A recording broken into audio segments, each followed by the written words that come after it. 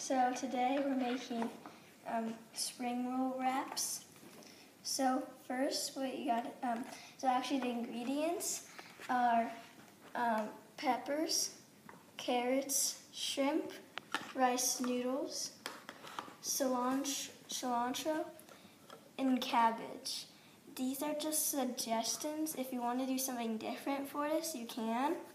Um, so how you first do it is you slide it in the hot water that you boil on a fin. You hold it in there for about 10 seconds and then once you can't see these little marks right here, when you slide it up it should be clear. And so if you're like if you don't want to like maybe like, get your fingers like sticky or anything, you might want to let it dry first, but that takes longer. Um, and it could like fold easily, but it doesn't really matter if it does.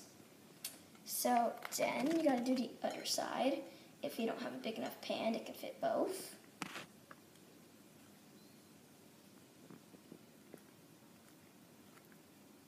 Make sure it's all the way in here.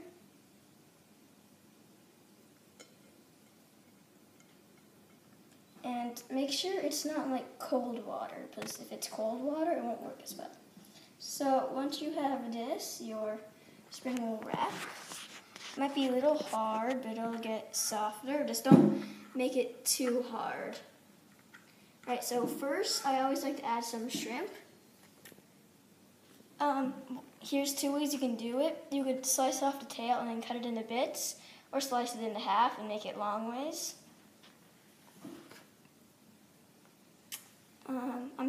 Long ways right now. So you put your shrimp down. This doesn't have to be in any particular order. Then um, rice noodles. Make sure you don't overflow it. So if you want more wrapping, make it a smaller portion.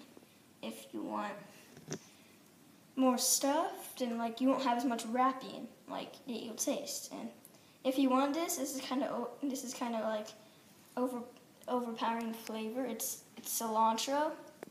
Um, just put a little bit in. I don't really like a lot. So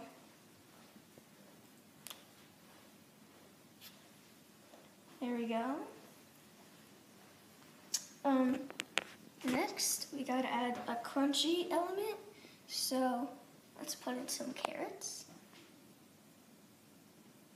Once you tuck that all in, you can get um, any kind of like bell pepper or anything. It really like doesn't matter.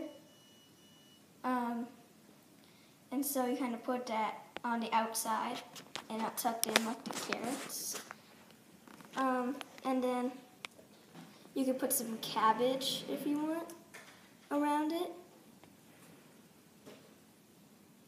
Now this is kind of a smaller portion. I usually like to put some rice noodles on top just for an extra little topping. So then you fold one edge. It doesn't matter since it's a square and all the sides are equal. If you have a circle, it's the same thing. It doesn't really matter which side. Then, once you fold it all the way over, you take the sides, put it over, once and then put it over again. And then you might have a loose end, which is fine, so you can start that end to eat with. And then you can dig right in.